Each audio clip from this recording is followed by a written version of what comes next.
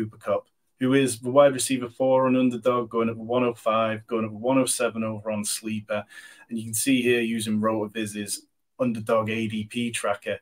He's kind of started off at the sixth spot, start BBM, and he rose all the way up to four. And then the hamstring injuries kind of pushed him down do you feel like he's kind of being valued fairly at the minute? You know, last year he did look incredible. He was on for a really great season. You know, had 18.2 half PPR points per game, which was only just behind Jeff, Justin Jefferson.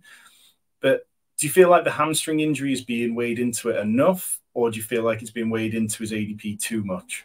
Too much, way too much. Um, I think it the injury happened during a period where everyone was trying to react to preseason news and they didn't realize that we were four and a half or five weeks away from week one and we were going to get answers of hey if he's practicing like he seemingly is now two and a half weeks or two weeks before kickoff then everything should be fine now because he is such an incredible player did it drop him too much no but tom i think there's an argument that he should be locked in to the top three overall picks, no matter where you're drafting.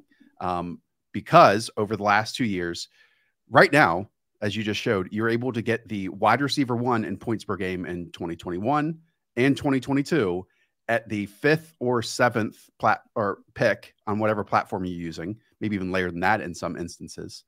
And Hayden had this incredible quote that the questions about the Rams this year revolve around hey, if they're even going to be competitive, if they can win games. And you know this, that I believe getting good players on teams that are winning, because if you're winning, then you're scoring more points than your opponents is like the easiest strategy, your mindset ever. But through week nine of last year, when he and Matthew Stafford were playing together and the Rams were severely struggling, they were 29th in scoring overall. They were 29th in yards per pass attempt. They were 14th overall in pass attempts. And yet Cooper Kupp was still the wide receiver one in points per game. So it's like we've seen them win the Super Bowl and him be great, them be struggling and him being great. And I, again, feel like we're still getting amazing value at that pick right now.